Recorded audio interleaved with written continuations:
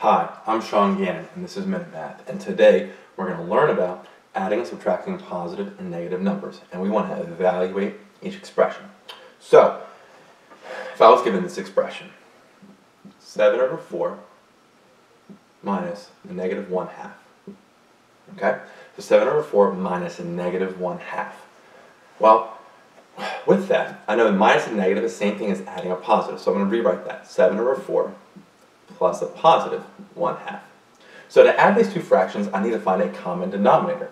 Well, 2 and 4 both go into 4. 4 one time, so we don't need to change anything, but 2 two times. So this here, I can multiply by 2 over 2. And this right side, I don't need to do anything. It's really just 1 over 1 if you want to, but I'm going to leave it. So 2 over 2 is really the fraction, or the number 1, and multiplying 1 by 1 half doesn't change it. But it makes it look different. 2 times 1 is 2 over 4. There we go.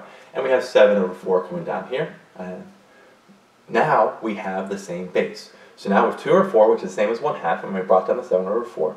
So now it's the same base, we just have to add the numerator. And the numerator is 9. So we have 9 fourths. Keep the denominator the same. And, and that's our final answer. Because 7 plus 2 is 9. So 9 fourths being our final answer, let's recap. We have 7 over 4 minus a negative 1 half. Subtracting a negative is the same thing as adding a positive. So we have plus 1 half here.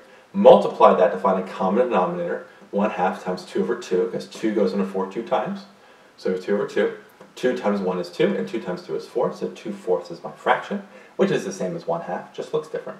Now we have um, these two fractions.